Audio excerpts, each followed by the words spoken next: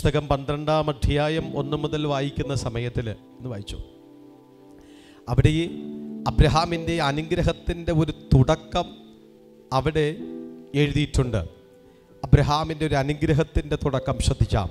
യഹോവ അബ്രഹാമിനോട് അരളി ചെയ്തത് എന്തെന്നാൽ നീ നിന്റെ ദേശത്തെയും ചാർച്ചക്കാരെയും പിതൃഭവനത്തെയും വിട്ട് പുറപ്പെട്ട് നീ നിന്റെ ദേശത്തെയും ചാർച്ചക്കാരെയും പിതൃഭവനത്തെയും വിട്ട് പുറപ്പെട്ട് ഞാൻ നിന്നെ കാണിപ്പാനിരിക്കുന്ന ദേശത്തേക്ക് പോകാം. ഞാൻ നിന്നെ കാണിപ്പാനിരിക്കുന്ന ദേശത്തിലേക്ക് പോക. ഞാൻ നിന്നെ വലിയൊരു ജാതിയാക്കും. ഞാൻ നിന്നെ വലിയൊരു ജാതിയാക്കും. നിന്നെ അനുഗ്രഹിച്ച് നിന്റെ പേർ വലുതാക്കും. നിന്നെ അനുഗ്രഹിച്ച് നിന്റെ പേർ വലുതാക്കും. നീ ഒരു അനുഗ്രഹമായിരിക്കും. നീ ഒരു അനുഗ്രഹമായിരിക്കും. നിന്നെ അനുഗ്രഹിക്കുന്നവരെ ഞാൻ അനുഗ്രഹിക്കും. നിന്നെ അനുഗ്രഹിക്കുന്നവരെ ഞാൻ അനുഗ്രഹിക്കും. നിന്നെ ശപിക്കുന്നവരെ ഞാൻ ശപിക്കും. നിന്നെ ശപിക്കുന്നവരെ ഞാൻ ശപിക്കും. നിന്നിൽ ഭൂമിയിലെ സകല വംശങ്ങളും അനുഗ്രഹിക്കപ്പെടും. നിന്നിൽ ഭൂമിയിലെ സകല വംശങ്ങളും അനുഗ്രഹിക്കപ്പെടും. യഹോവ തന്നോട് കൽപ്പിച്ചതുപോലെ അബ്രാം പുറപ്പെട്ടു. അബ്രഹാം പുറപ്പെട്ടു. മതി. സ്തോത്രം. അബ്രഹാമിന്റെ ഞാനിപ്പോൾ പറഞ്ഞത് ഇരുപത്തി രണ്ടാം അധ്യായത്തിലെ സംഗതിയാണ്. പക്ഷെ അതിന് മുമ്പൊരു ഹിസ്റ്ററി ഉണ്ട് അബ്രഹാമിന് പന്ത്രണ്ടാം അധ്യായത്തിൽ. ആ ചരിത്രം ഇപ്രകാരമാണ്. ഒരു വിഗ്രഹത്തെ സേവിച്ച് ആരാധിച്ച് കൊണ്ടിരുന്ന അബ്രഹാം ഒരു വിഗ്രഹാരാധനക്കാരനായി അതാ എന്താ വിഗ്രഹങ്ങൾ ഉണ്ടാക്കി വിൽക്കുന്ന തേരഖിന്റെ മകൻ. അപ്പോൾ ആ ഒരു കുടുംബത്തിൽ ആയിരുന്ന അബ്രഹാമിനെ പെട്ടെന്ന് വിളിച്ചു. അവന്റെ അമ്മ മാനസാന്തരപ്പെട്ടില്ല അവന്റെ അപ്പന മാനസാന്തരപ്പെട്ടിട്ടില്ല. പ്രൈസ്തലോൺ അവന്റെ ബന്ധുക്കളും മിത്രാദികൾ ആരും മാനസാന്തരപ്പെട്ടിട്ടില്ല. പക്ഷേ ദൈവം ആ കുടുംബത്തിൽ നിന്ന് ഒരുത്തനെ ചൂണ്ടി. ചൂണ്ടിയാ ചൂണ്ടിയതാ. ആ പിടിച്ചാ പിടിച്ചതാ. പിടിച്ചിട്ട് പറഞ്ഞു നിന്റെ ദേശത്തെ നീ വിടണം. നിന്റെ ചാർച്ചക്കാരെ നീ വിടണം. നിന്റെ പിതൃഭവനത്തെ നീ വിടണം. മൂന്ന് കാര്യം ചെയ്യണം. മൂന്ന് കാര്യം ചെയ്യണം. എങ്കിൽ ഞാൻ നിനക്ക് ഏഴ് അനുഗ്രഹത്തെ തരും. എത്ര അനുഗ്രഹം? ഏഴ് അനുഗ്രഹത്തെ തരും. നീ മൂന്ന് കാര്യം നീ ചെയ്താൽ ഞാൻ ഏഴായിട്ട് എന്തു ചെയ്യും? തിരികെ തരും. അതിലൊന്നാമത്തെ അനുഗ്രഹം എന്താണ്? ഞാൻ നിന്നെ വലിയൊരു ജാതിയാക്കും. ഞാൻ നിന്നെ വലിയൊരു ജാതിയാകും ഈ ഏഴ് അനുഗ്രഹം എന്ന് പറഞ്ഞാൽ ചില്ലറ കാര്യമൊന്നുമില്ല. വലിയൊരു ജാതിയാകും. എന്ന് മീൻസ് ഒരു വർധനവിനെ കുറിച്ചാണ് അവിടെ പറയുന്നത്. ഒരു വർധനവ് ഓക്കെ അടുത്ത. നിന്നെ അനുഗ്രഹിച്ച് നിന്റെ പേർ വലുതാക്കും. നിന്റെ പേര് വലുതാക്കും. ബാക്കി പിന്നാലെ. ക്ഷത്രം അപ്പോൾ ഇവിടെ മൂന്ന് കാര്യം നീ ചെയ്താൽ ഏഴ് കാര്യം ഞാൻ നിനക്ക് ചെയ്യാം. ആ ഏഴ് കാര്യത്തിൽ രണ്ടെണ്ണം നമ്മൾ ശ്രദ്ധിച്ചപ്പോൾ നമ്മൾ ചില്ലറ കാര്യമൊന്നുമില്ല. ഭയങ്കര കാര്യമാണ് നിന്നെ ഞാൻ വലിയൊരു ജാതിയാക്കും. വലിയൊരു സമൂഹമാക്കും. എന്തിനാ അങ്ങനെ വലിയ സമൂഹമാക്കുന്നത്? ബന്ധുക്കളെയും മിത്രാദികളെയും ചാർച്ചക്കാരെയും ഒക്കെ വിട്ടിറങ്ങുന്ന ഒരുവന് ദൈവം കൊടുക്കുന്ന വാഗ്ദത്വം. നിന്റെ പേർ ഞാൻ വലുതാക്കും. എന്തിനാ അങ്ങനെ പേർ വലുതാക്കും എന്ന് പറയുന്നത്? ഇവന്റെ പേരിനെ ചെറുതാക്കാൻ വേണ്ടി കുറെ പുള്ളികൾ അങ്ങനെ കാത്തിരിക്കുക യവൻ ഈ വർഷങ്ങൾ കൊണ്ടുണ്ടാക്കിയ പേരുണ്ടല്ലോ. നീ കാലങ്ങൾ കൊണ്ടുണ്ടാക്കിയ പേരുണ്ടല്ലോ. അതിനെല്ലാം ചെറുതാക്കാൻ വേണ്ടി ചെറുതാക്കാൻ വേണ്ടി നിന്നെ നിന്നയിലൂടെ പരിഹാസിലൂടെ നടത്താൻ ഒരുപാട് പേര് അബ്രഹാമിന്റെ കൂടെയുണ്ട്. എന്തൊക്കെ ആയിരിക്കാം? പറയത്തില്ലേ? തണ്ടകട ബന്ധുക്കളെ മിത്രാദികളെ ചാർച്ചക്കാരെ പിതൃഭവനത്തെ എല്ലാം വിട്ടിച്ചിട്ട് ഒരുത്തനെ ഇതാ പരദേശിയെ പോലെ ഭിക്ഷക്കാരനായിട്ട് ഇങ്ങനെ പോകുന്നു. അല്ലേ? അവന് കുറേ പേരുദോഷങ്ങൾ കിട്ടി. കർത്താവിനെ സ്വീകരിച്ചപ്പോൾ. ഞാൻ പറഞ്ഞു നിങ്ങൾ മനസ്സിലാകുന്നു. ഞങ്ങളുടെ കൂട്ടായ്മയുടെ ഏറ്റവും വലിയ അനുഗ്രഹം പല ജാതി മതത്തിൽപ്പെട്ടവർ ഈ കൂട്ടത്തിലുണ്ട് എന്നുള്ളതാണ്. കുത്തിയെന്ന് പ്രാർത്ഥിച്ചാൽ നിങ്ങളെയൊക്കെ ഇവിടെ കൊണ്ടുവന്നത്. ചുമ്മാ ഒന്നുമല്ല ഇപ്പോഴെങ്ങനെയൊന്നുമില്ല. പണ്ട് ഞാൻ പ്രാർത്ഥിച്ചിട്ടുണ്ട്. കർത്താവെ മറ്റുള്ള സഭകളിൽ നിന്ന് വ്യത്യസ്തമായിട്ടൊരു പോക്ക് എനിക്ക് പോകണം. അതിലെത്ര എന്താണ്? അതിലെന്താണ്? കർത്താവ് നീ എനിക്ക് അനുഗ്രഹിച്ചു തരുന്ന സഭയ്ക്കകത്ത് ഒരു പ്രത്യേക ജാതി മാത്രം പോരാ. ജാതിയുടെയും മതത്തിന്റെയും വർണത്തിന്റെയും പേര് പറഞ്ഞ് ഒരുപാട് പേര് ആമീൻ മാറ്റി മാറ്റി നിർത്തിയപ്പോൾ എന്റെ രഹസ്യ പ്രാർത്ഥനയ്ക്കകത്ത് എന്റെ പ്രാർത്ഥനാ മുറിക്കകത്ത് ഞാൻ കരഞ്ഞു കർത്താവേ അങ്ങനെ ഒരു സഭയല്ല എനിക്ക് വേണ്ടത്. ഈ ഇന്ത്യക്കകത്ത് അല്ലെങ്കിൽ കേരളക്കരയിൽ പ്രഗത്ഭമായിട്ട് നിൽക്കപ്പെടുന്ന എത്ര ജാതിയുണ്ടോ അതിൽ നിന്ന് എല്ലാത്തിൽ നിന്നും കുറേ പേരെ എനിക്ക് തരണം. പ്രാർത്ഥനയ്ക്ക് ശക്തിയുണ്ടെന്നേ. അല്ലാണ്ട് നിങ്ങൾ ചുമ്മാ വന്നേന്നല്ല ഇതെല്ലാം നേരത്തെ കണക്ട് ചെയ്തങ്ങ് വെച്ചു. അതതുപോലെ നടന്നുകൊണ്ടിരിക്കുകയാണ്. സ്തോത്രം. അപ്പോൾ അങ്ങനെ വന്ന നിങ്ങൾ അനുഭവിക്കുന്ന വേദനകൾ ഞാൻ പറയാതെ നിങ്ങൾക്കറിയാം. സ്നേഹസ്വരൂപനായ ദൈവത്തെ നിങ്ങൾ സ്വീകരിച്ചിറങ്ങിത്തിരിച്ചപ്പോൾ നിങ്ങളെ ഒറ്റപ്പെടുത്തുന്ന ജാതി അങ്ങനെ ഒരുപാട് കാര്യമുണ്ട്. ഇത് മനസ്സിലാക്കിയിട്ട് ദൈവത്തിന്റെ പരിശുദ്ധമ പറഞ്ഞു നിന്നെ ഞാൻ വലിയ ജാതിയാക്ക് നിന്നെ ഏമൻ ആരൊക്കെ ആക്ഷേപിച്ചിട്ടുണ്ടോ? അവരുടെ മുമ്പിൽ നിന്റെ പേര് ഞാൻ വലുതാക്കും നിന്റെ പേര് ഞാൻ വലുതാക്കും നിന്റെ പേര് ഞാൻ വലുതാക്കും നിന്റെ പേര് ഞാൻ വലുതാക്കും നിന്റെ പേര് ഞാൻ വലുതാക്കും.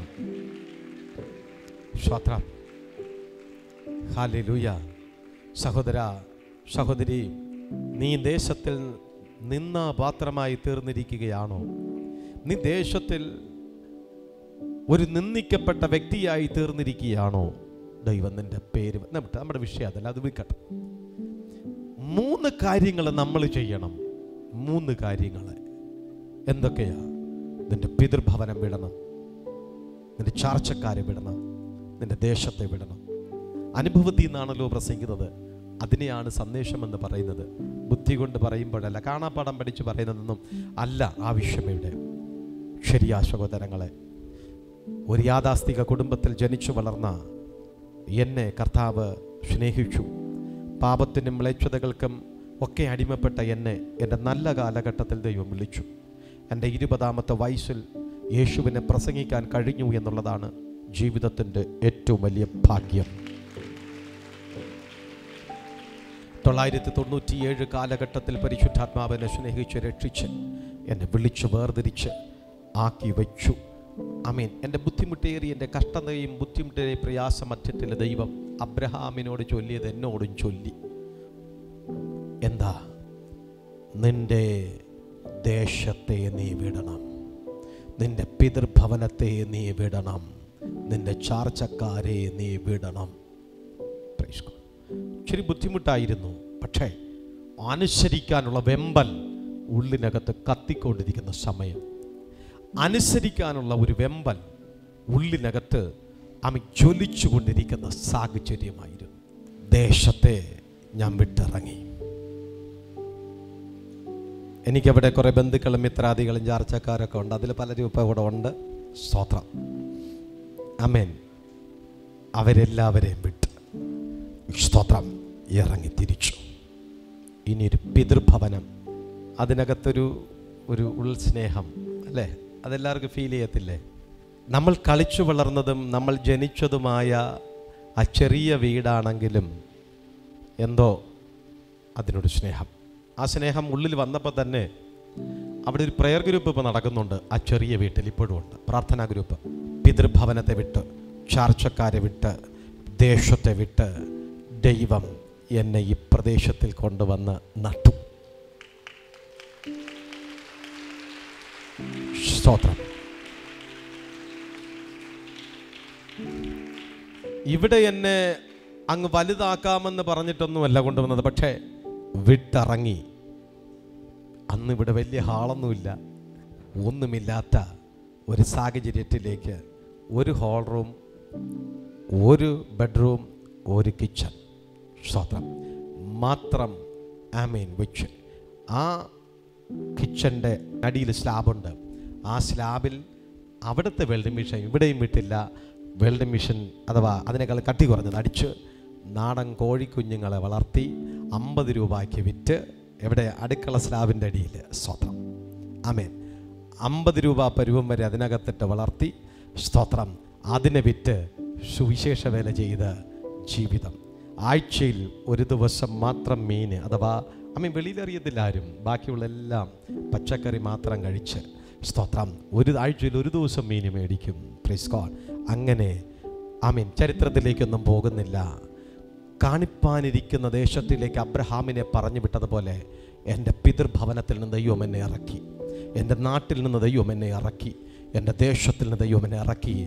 പക്ഷേ വാഗ്ദത്വങ്ങളിൽ വിശ്വസനായിരിക്കുന്ന ദൈവം എന്നെയും ഒറ്റയ്ക്ക് വിട്ടില്ല.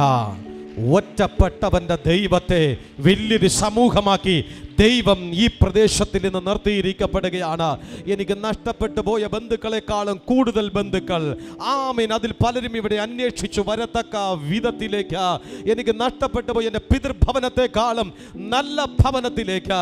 എനിക്ക് നഷ്ടപ്പെട്ടു പോയതായിട്ടുള്ള എന്റെ സ്വന്തക്കാരെക്കാളും ചർച്ചക്കാരെക്കാളും ദേശത്തെക്കാളും മനോഹര ദേശത്തിൽ സ്വർഗം ഏൽപ്പിക്കപ്പെട്ടുവെങ്കിൽ അനുസരിക്കുന്ന ഒരു ദൈവത്തിന്റെ പൈതലിനെ വഴിക്ക് വെച്ച് ഉപേക്ഷിക്കാത്ത ഒരു ദൈവമുണ്ട്.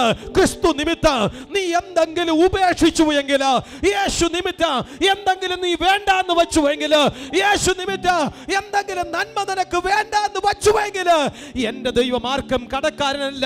രണ്ടായിരത്തി ഇരുപത് അനുഗ്രഹത്തിന്റെ വർഷമാണ് എങ്കിൽ ഓട്ടവും പലിശയും തീർത്ത് കടക്കാരനാകാത്ത ദൈവം നിനക്ക് വേണ്ടിയിട്ട് വലുത് ചെയ്യും. കേട്ടേച്ചു പോകുകയല്ലെന്ന് പ്രാപിച്ചേ പോകാത്തുള്ളൂ. എന്റെ കർത്താവ് എനിക്ക് മടക്കിത്തരും ശകലവും ശകലവും ശകലവും മടക്കിത്തരും അനുഗ്രഹം നീ പ്രാപിക്കണമെങ്കിൽ അതിനു മുമ്പ് നിനക്കൊരു നുറുക്കലുണ്ട്. ഒരു നുറുക്കം നിന്നെ ദൈവം നുറുക്കും. നിന്നെ ദൈവം ശോധനകളിലൂടെ നടത്തിവിടും. നിന്നെ ചെയ്യും ബുദ്ധിമുട്ടിലൂടെ നടത്തിവിടും. രണ്ടായിരത്തി പത്തൊൻപത് അതിന്റെ നുറുക്കലാണോ അനുഭവിച്ചത്? ജനുവരി മാസം മുഴുവനും അതിന്റെ വേദനയാണോ നീ അനുഭവിക്കപ്പെട്ടുകൊണ്ടിരുന്നത്? ദൈവസ്നേഹത്തിന്റെ വർഷമെന്ന് കേൾക്കപ്പെടുകയോ. അനുഗ്രഹത്തിന്റെയും വർധനവിന്റെയും വർഷമെന്നൊക്കെ നീ കേട്ടിട്ട് അതിന്റെ ലാഞ്ചന ഇതുവരെയും നിനക്ക് അനുഭവിക്കുവാൻ കഴിഞ്ഞില്ല എങ്കിൽ ഇന്ന് പറയണ ഷാജി ബ്രദറിലൂടെ പരിശുദ്ധാത്മാവ് എന്നെ പഠിപ്പിച്ചോ. ഞാൻ എത്രത്തോളം വേദന അനുഭവിച്ചോ അത്രത്തോളം ഞാൻ അനുഗ്രഹം പ്രാപിക്കുക എത്രത്തോളം ഞാൻ ബുദ്ധിമുട്ട് അനുഭവിച്ചുവോ അത്രത്തോളം ഞാൻ അനുഗ്രഹം പ്രാപിക്കുക എത്രത്തോളം ഞാൻ പ്രയാസം അനുഭവിച്ചുവോ അത്രത്തോളം ഞാൻ ആ നന്മ അനുഭവിക്കും. നിന്റെ കുഞ്ഞിനെ കുറിച്ച് നീ എത്രത്തോളം വേദന അനുഭവിച്ചുവോ അത്രത്തോളം നിന്റെ കുഞ്ഞിനെ ചൊല്ലി നീ സന്തോഷിക്കുവാൻ ഇടയായി തീരപ്പെട. എത്രത്തോളം നിന്റെ ഭാര്യയെ ചൊല്ലി നീ വേദനിച്ചുവോ അത്രത്തോളം നിന്റെ ഭാര്യയെ ചൊല്ലി നീ സന്തോഷിക്കുവാൻ ഇടയായി തീര. എത്രത്തോളം നിന്റെ ഭർത്താവിനെ ചൊല്ലി നീ വേദനിച്ചുവോ നുറുക്കപ്പെട്ടുവോ അത്രത്തോളം നിന്റെ ഭർത്താവിനെ ചൊല്ലി നീ സന്തോഷിക്കുവാനുള്ള ദിവസങ്ങൾ എടുക്കുന്നു എത്രത്തോളം നിന്റേതായിട്ടുള്ള വസ്തുവകളെ ആമീൻ ബിസിനസ്സിനെ കുറിച്ച് നീ വേദന അനുഭവിച്ചോ അത്രത്തോളം തന്നെ സ്വർഗത്തിന്റെ ദൈവത്തിന്റെ സന്നിധിയിൽ നിന്റെ ബിസിനസ്സിനെ കുറിച്ച് നിന്റെ സാമ്പത്തിക രീതികളെ കുറിച്ച് നീ സന്തോഷിക്കുവാനുള്ള ദിവസങ്ങൾ അടുത്തിരിക്കുന്നു. അബ്രഹാം അനുസരിച്ചപ്പോ അവനെല്ലാം വിട്ടിറങ്ങി. അപ്പൊ ദൈവം ഏഴ് അനുഗ്രഹം കൊടുത്തു. ആ ഏഴ് അനുഗ്രഹം കഴിഞ്ഞതിന് ശേഷം ഈ അനുഗ്രഹത്തെ ഒന്ന് ഐശ്വര്യമാക്കണമെന്ന് ദൈവത്തിന് തോന്നി. അതിന് ഐശ്വര്യം എന്ന് പറഞ്ഞാൽ എന്താ? നന്നായിട്ട് അതിനെ ഒന്ന് ഒന്ന് ഒന്ന് മോടി പിടിപ്പിക്കുക. ഈ വർഷത്തിന്റെ അനുഗ്രഹം കിട്ടണമെങ്കിൽ ആദ്യം പഠിച്ചാലേ കിട്ടൂ. അത് കേൾക്കണം. പ്രവാചകന്റെ നാവിക്കൂടെ ആദ്യം കേൾപ്പിക്കും. കേൾപ്പിച്ചിട്ടാണ് അതനുസരിച്ച് കാര്യങ്ങൾ സെറ്റാകുന്നത്. അതുകൊണ്ട് കേട്ടാലേ അനുഗ്രഹം വരത്തുള്ളൂ ഇന്നു മുതൽ. സ്തോത്രം. ദൈവസ്നേഹത്തിൽ മുതിർന്നു വന്ന ദൈവമക്കൾ ആമേൻ. നിങ്ങൾ തുടർന്ന് അനുഗ്രഹത്തിലേക്ക് ചവിട്ടി കയറണം. നുറുക്കം വരുമ്പോൾ അയ്യോ പ്രസംഗവും ഇതുമായിട്ട് ബന്ധം അല്ല നുറുങ്ങിയാലേ അനുഗ്രഹം വരുള്ളൂ മനസ്സിലാകുന്നു ഹന്നയ്ക്ക് ഭയങ്കര അനുഗ്രഹം വന്നു കുറേ കരയേണ്ടി വന്നു. അബ്രഹാമിന് വലിയ അനുഗ്രഹം വന്നു കുറേ ടെൻഷൻ പിടിക്കേണ്ടി വന്നു. അല്ലേ? ഭക്തന്മാരുടെ ചരിത്രങ്ങളെല്ലാം നിങ്ങളുടെ അടുത്ത് നോക്ക്. എല്ലാവരും ആരൊക്കെ നുറുങ്ങിയിട്ടുണ്ടോ അവരെല്ലാവരും അനുഗ്രഹത്തിലേക്ക് എത്തിയിട്ടുണ്ട്.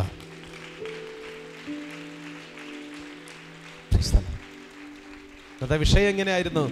കുശവന്റെ കയ്യിലിരിക്കുന്ന ആ പാത്രം കുശവന്റെ കയ്യിൽ ചീത്തയായിപ്പോയി. പക്ഷേ അവൻ വീണ്ടും അതിനെ ഐ മീൻ ഷെയ്പ്പുള്ളൊരു പാത്രമാക്കി മാറ്റി. എങ്ങനെയാ? ചെളിയിൽ കിടക്കുന്ന ചെളിയെടുത്ത് അവൻ അരച്ച് ഷെയ്പ്പാകും ഷെയ്പ്പാകുമ്പോൾ ശരിയായില്ലെങ്കിൽ വീണ്ടും ചെളിയിലിടും. ചവിട്ടി അരച്ചരച്ചരച്ചരച്ച് വീണ്ടും എടുത്ത്. അവന്റെ മനസ്സിൽ നിന്നെക്കുറിച്ചൊരു ഐഡിയ ഉണ്ട്. ഈ ലെവലിലെത്തുന്നത് വരെയും നിന്നെ പൊളിക്കും. പൊളിച്ചുകൊണ്ടിരിക്കും പൊളിച്ചുകൊണ്ടിരിക്കും നിന്നെ ഇഷ്ടമില്ലെങ്കിൽ എന്ത് ചെയ്യുന്നറിയാം? ആ ഈ പാത്രം എങ്ങനെയെങ്കിലും ഇരിക്കട്ടെ. വേണമെങ്കിൽ ആരെങ്കിലും മേടിച്ചുകൊണ്ട് പോയാൽ മതി. വേണമെങ്കിൽ മേടിച്ച് ഇല്ലെങ്കിൽ അവിടെ ഇരിക്കുക പക്ഷെ നിന്നെ ദൈവത്തിന് ഇഷ്ടമാണ് എങ്കിൽ നീ ദൈവഹിതം അനുസരിച്ചുള്ള ഒരു ഷെയ്പ്പ് ആകുന്നത് വരെ നിന്നെ പൊളിച്ച് പണിതുകൊണ്ടിരിക്കാം. നല്ല എഞ്ചിനീയർമാർ അതെ അഡ്ജസ്റ്റ് ചെയ്ത് പണിയൂല. അവ പണിയുമ്പോൾ തെറ്റിപ്പോയാൽ പൊളിക്കും. പൊളിച്ചിട്ടത് നന്നായിട്ട് പണിയും.